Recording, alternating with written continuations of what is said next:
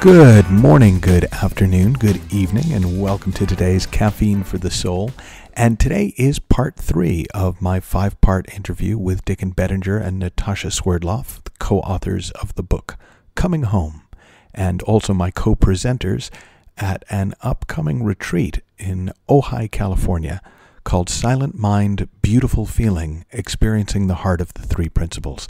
And if you're interested in finding out more about that retreat and joining us, check out michaelneill.org forward slash silent mind. So, one of the, I think,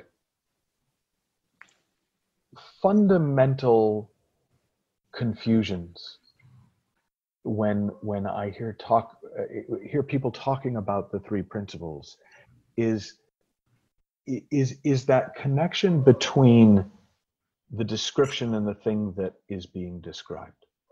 So you've mm talked about it, Dicken, in terms of concept. You talked about it, Natasha, in terms of metaphor. For me, there's something about being able to be clean on the difference between the description and that which is being described, which is the difference between somebody who's really impactful in their sharing of this and somebody who is merely articulate. And, and, and I'm wondering if, if there's enough there for us to build a conversation around because it it for me the biggest breakthrough that I remember having in my understanding of the principles was when Sandy Krot asked me one day why I kept asking her what consciousness is. And I realized in her asking me that, that I kept going, well, so what's consciousness again? Is because I was trying to get her articulation clear enough that I could either agree with it or disagree with it and it was when i saw that and realized the stupidity of that as a learning strategy. But but also then when i began to think in terms of not the word but that which the word was attempting to describe well you know that space that is still there when you close your eyes the world that doesn't go away when you block out the senses. That's what we're describing when we use the word consciousness. And it was the first time where my experience of the principles was mm. at that level, at a, at a feeling level, mm. more mm. than at a conceptual level. So I just love, I don't even really have a question other than what's your experience of that? What do you notice about that?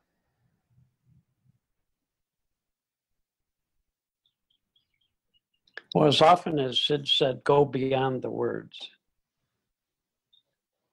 I too spent uh, years trying to think about the principles and pin them down and get a better way of understanding them intellectually. And who knows? I, I don't know if, if that's a phase. Not everybody seems to go through it, but a lot of us sure did. And it's sort of like my intellect had to get enough and settle down enough that then I could set it aside. But this whole notion of going beyond the words be, started for me to become apparent in those moments when I'd be hearing anybody, somebody talking about the principles, or I'd be reading about the principles, and I would stopped trying to figure it out. And I just was at peace. I just, then all of a sudden, the words weren't about themselves or meaning, they were pointers toward that peaceful, open, feeling full, quiet space that I was in. And I really started to benefit from hearing other people teach or Syd teach when I realized that every single word said about the principles is just pointing us toward the experience of that same space. And then it got interesting. Well, and that that I, I've been speaking to a bunch of people in the past few few months as more people kind of come to this from other arenas. And and they they often ask about, well, you you know, which teacher says it right?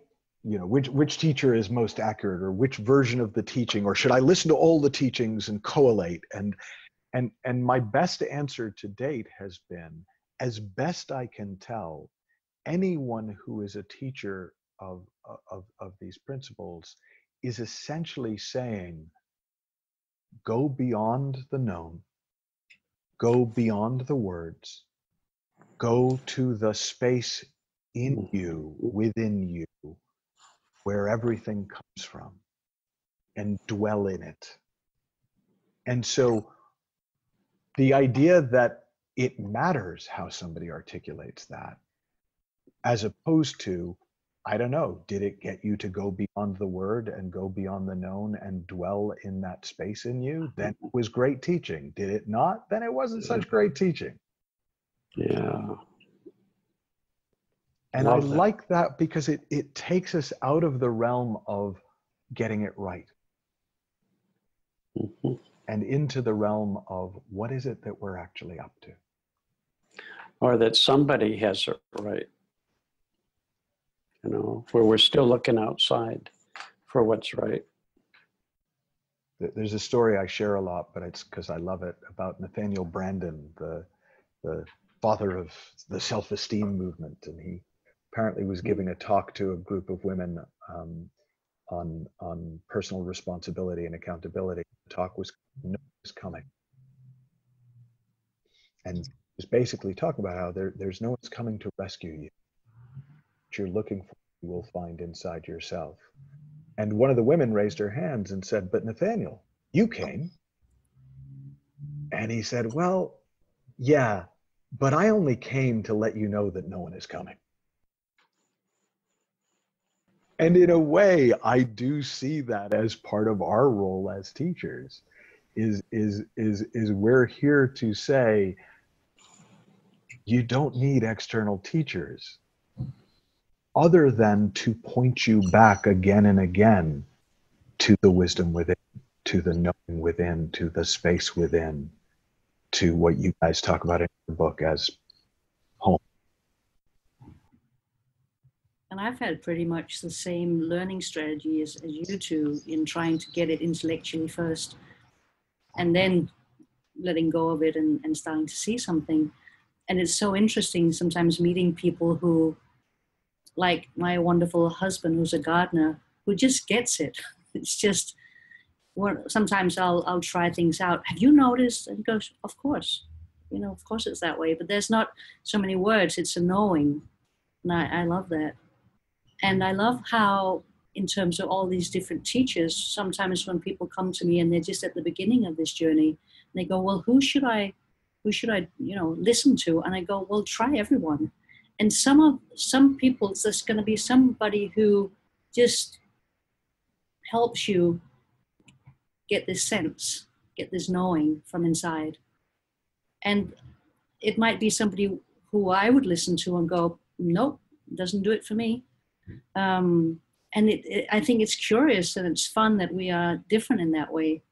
Somebody gets something out of someone that I I wouldn't, and then others that I really think are fantastic. Then they go, no, didn't do it for me.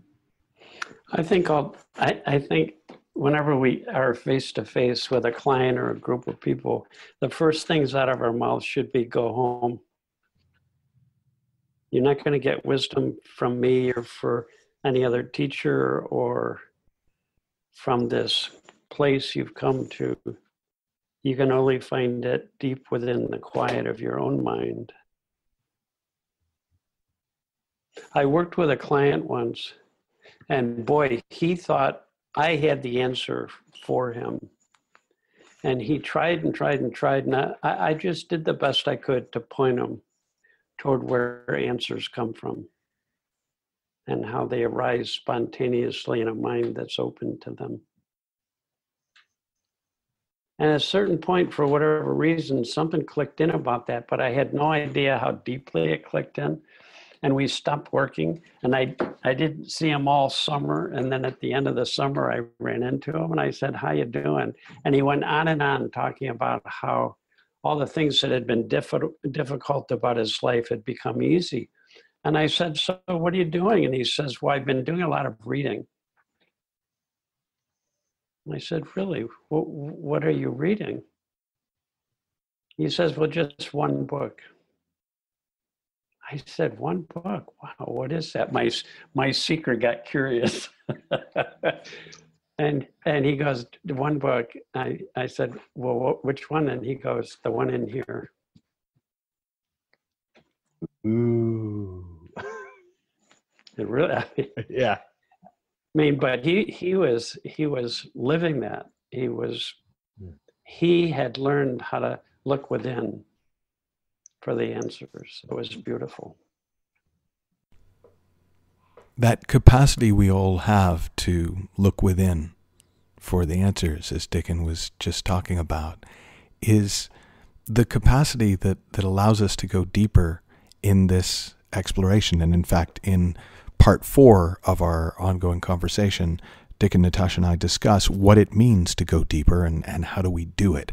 If you'd like to learn more about the ideas that we're talking about and be part of a four day exploration, then you can join us for the Silent Mind Beautiful Feeling Retreat in Ojai, California. And that is from February 22nd to 25th of 2018. And you can learn all about it and uh, get your place at michaelneill.org forward slash silent mind. Until tomorrow, have fun, learn heaps. We'll talk with you then.